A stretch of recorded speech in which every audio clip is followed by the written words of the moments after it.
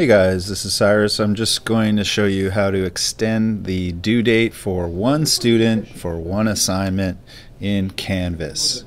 Um, this is pretty simple to do, but you can mess it up if you do it the wrong way. So, step one, click on Assignments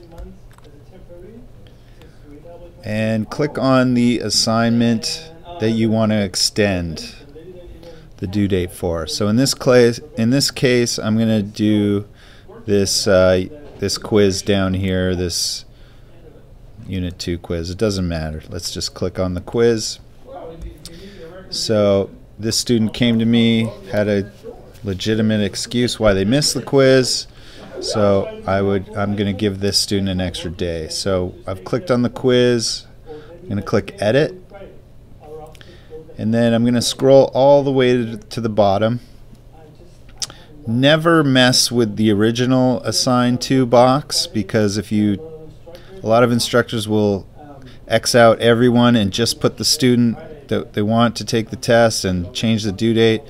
And that's going to remove everyone from your grade book, which you probably don't want.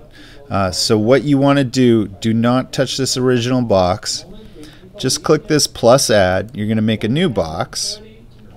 And then down here you can start typing the name of the student that you wish to grant this extra due date. So we'll give this person an extra time. I've typed their name in there, clicked on their name, it popped their name in here.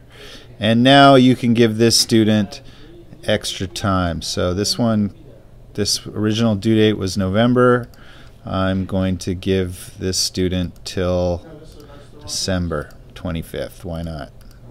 There we go. Little holiday present. They get to take the quiz. And then, of course, click Save. And that's it. Now you would inform the student, hey, I've reopened the assignment, log into Canvas, and complete it. All right, that's it. Thanks for watching.